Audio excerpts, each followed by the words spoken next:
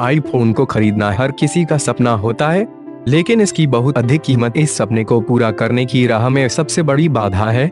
लेकिन अब यह सपना जल्द ही पूरा हो सकता है, कुछ मीडिया रिपोर्ट में बताया जा रहा है कि एप्पल आईफोन एस दो पर काम कर रही है। आपको बता दें कि एप्पल का एस मॉडल अभी तक का सबसे सस्ता आईफोन है, और यह उम्मीद की जा रही है कि इसकी कीमत भी ज़्यादा नहीं होगी। भारत में आईफोन एस की अभी कीमत उन्नीस हज़ार नौ सौ नब्बे रूपए ऐसी लेकर पच्चीस हज़ार नौ सौ नब्बे रूपए तक है। दोस्तों, आपको यह वीडियो कैसा लगा? आप हमें कमेंट करके ज़रूर बताएँ।